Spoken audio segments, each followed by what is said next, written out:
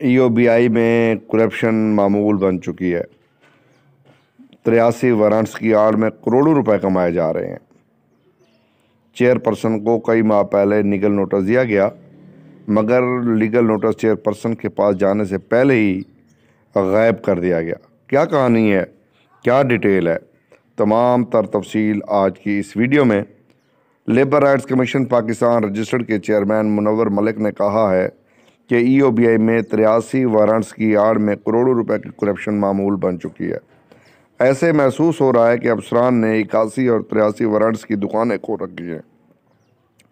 पाकिस्तान में तकरीबन छः करोड़ मजदूर मुख्तलिफ़ सनती और तजारती इदारों में काम कर रहे हैं, जबकि ई ओ बी आई नबे लाख वर्कर्स की रजिस्ट्रेशन का दावेदार है।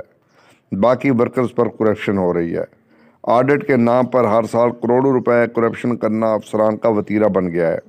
अफसोस के शहीद भुट्टू ने यह इदारा मजदूरों की फलाह बहबूद पेंशन के लिए बनाया था। मगर शहीद भुट्टू की शहादत के बाद अफसरान ने इदारे को करप्शन की यूनिवर्सिटी बना दिया है। आज चोर दरवाज़ों से भर्तियाँ अरबों रुपए के करप्शन इनमें मुलविस अफसरान के ख़िलाफ़ कार्रवाई का ना होना, ये ई ओ बी ए की शनाख्त बन चुका है। सितम ज़रीफ़ी ये है कि अफसरान को रिटायर हुए साल साल गुजर गए होते हैं, मगर फिर भी वो अपने इलाकों से भत्ता इकट्ठा करते देखे गए हैं। न भत्ता देने वालों को इल्म है कि फ़लाँ अफसर रिटायर हो गया और ना ही ई ओ बी आई आज तक कोई कार्रवाई के हवाले से पॉलिसी बना सका। ई ओ बी आई पेशर्स को इदारे पर बोझ और करप्ट अफसरान को इदारा का सुरखेल समझती है। आज भी सुप्रीम कोर्ट के अहकाम की ई ओ बी आई में तोहन की जा रही है। अफसरान गैर कानूनी तौर पर आला उदू पर फायज हैं।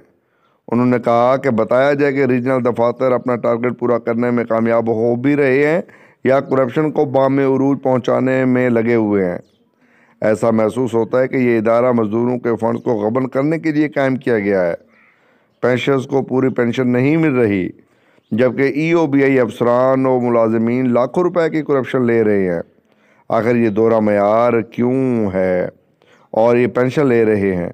ई ओ बी आई के अफसरान मज़दूरों को सबर, के सब्र को आजमाना चाहते हैं। जिस दिन मज़दूर मुतहद हो गए तो न सिर्फ़ इदारे की ईंट से ईंट बजा देंगे, बल्कि पूरे मुल्क में अफसरान बाहर और मज़दूर इदारा संभाल रहे होंगे। जिस तरह भुट्टू के इनकलाब के वक्त सनती मालकान बाहर और मज़दूरों ने सनतों का कंट्रोल संभाला था। पाकिस्तान के मज़दूरों की बदकिस्मती रही है कि जिन इदारों को, जिन नुमाइंदों को वो मंतखब करके ऐवानों में बिठाते हैं, वही नुमाइंदे मज़दूरों के दुश्मन बन जाते हैं। और यही वजह है कि शहीद भुट्टू के बाद आज तक किसी हुकूमत ने पाकिस्तान के करोड़ों मेहनत कशों के लिए कोई खुशहाली की पॉलिसी नहीं बनाई।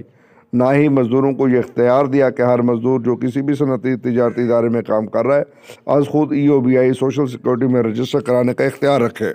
ताकि जो अफसरान की हरामखोरी की वजह से रजिस्टर नहीं किए जाते, वो रजिस्टर हो सके। और ये किसी हुकूमत के लिए पॉलिसी बनाना कोई मुश्किल काम नहीं।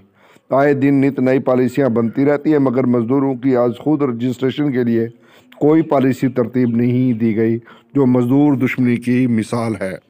आखिर में उन्होंने मुतालबा किया कि ई ओ बी आई की पेंशन में फिलफौर इजाफा किया जाए, और ये पेंशन कम अज़ कम पच्चीस हज़ार रुपये के मसावी, जो कम अज़ कम उजरत है उसके मसावी जो है वो पेंशन की जाए।